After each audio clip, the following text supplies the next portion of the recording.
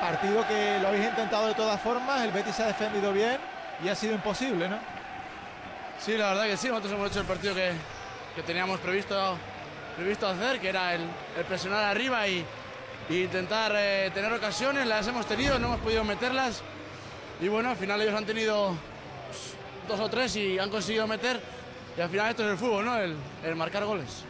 Pues esperabais a un Betis así, que estaba colista después del empate en Valladolid, que ha dado una, una buena imagen. ¿Cómo, ¿Cómo esperabas al equipo?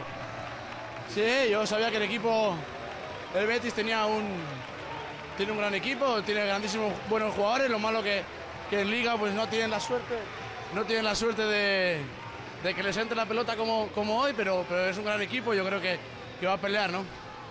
¿Y qué tal ha sido el reencuentro con antiguos compañeros, volver a pisar el Villamarín?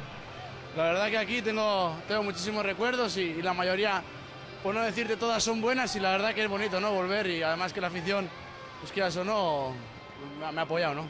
Muchas gracias, Beñat. A vosotros.